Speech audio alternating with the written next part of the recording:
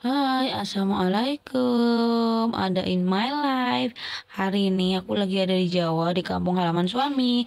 Nah, ini hari terakhir kami di kampung, dan akhirnya aku dimasakin sama mama mertua nggak tahu kenapa makanan mama mertua itu rasanya enak banget. Ini dia mau masak kangkung pakai bawang putih bawang merah dioseng kayak gini terus masukin habis itu cabe keriting sama cabe setan sama gula merah. Nah ini dia dioseng-oseng sampai kering terus masak ikan cuek juga. Masukin kangkungnya kalau sudah mendidih dengan bagus itunya minyak sama sambelnya. Ini mama mertua lagi masak yang enak-enak menurut aku sih. Ini tuh kangkung sawah ya jadi warna dan daunnya juga terlalu lebar. No masakan sambal cuek buatan mertua boleh. Oh alah ya kan bukan aku biarin aku aja yang ngulek oh biarin aja lah.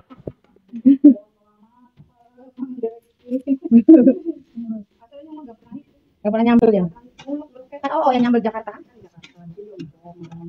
Mami pernah nyuruh papi kata papi. Mami. Aku Ya iya.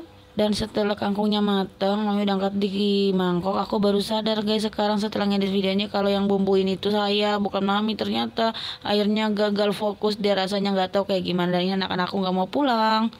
Gak mau pulang Uti? Ya.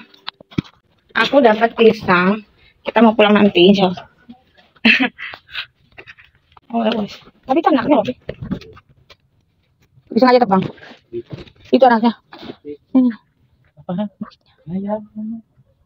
Kasih orangnya. Langsung. Alhamdulillah guys, kita dapat daun.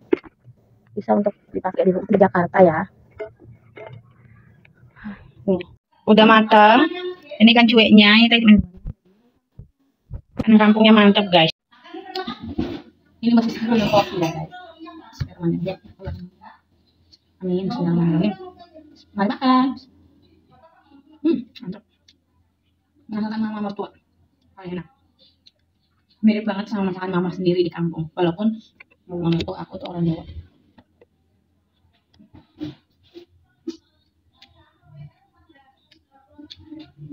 Nambah telur. Mantap banget. Mama itu tahu kalau aku nggak terlalu suka manis. Jadi kalau aku ke sini nggak masak itu nggak terlalu manis. Makan kayak gini aja nikmat banget ya kalau di kampung. Tapi kalau kita udah di perantauan nggak tahu kenapa berusaha masak begini pun tuh nggak bisa seenak kita ini loh. Jakarta, kita makan dulu. Hmm. Mama mertua itu sama seperti rasanya mama sendiri. Walaupun aku dimarahin, aku gak ngambil hati dan gak ngambil pusing. Kenapa? Mama aku juga sering begitu saya. Sering marah-marah. Sering kayak kesel ya. Karena mungkin aku yang nggak bangun pagi-pagi bukan mandiin anak aku malah ngkon kopi dapat gitu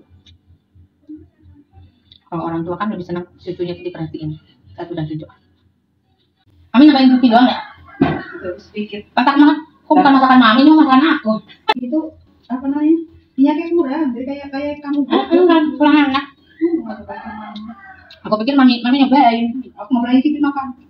Karena aku pengen Itu kalau masak ada perlu tak cicipin. aku kan pengen makan masakan mami malah gak dikasih makan Kalau orang aku mau nyanyi lah kamu dulu. Kamu dari dulu.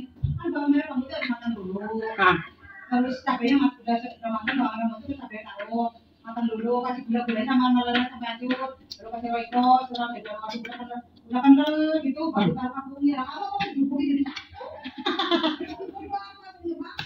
ya iya tapi kan aku aku pikir oh mami mami ke depan ngentar doang Alhamdulillah aku udah kenyang guys. Makasih ya sudah nemenin aku sambil makan tadi. Sekian video hari ini ya. Terima kasih.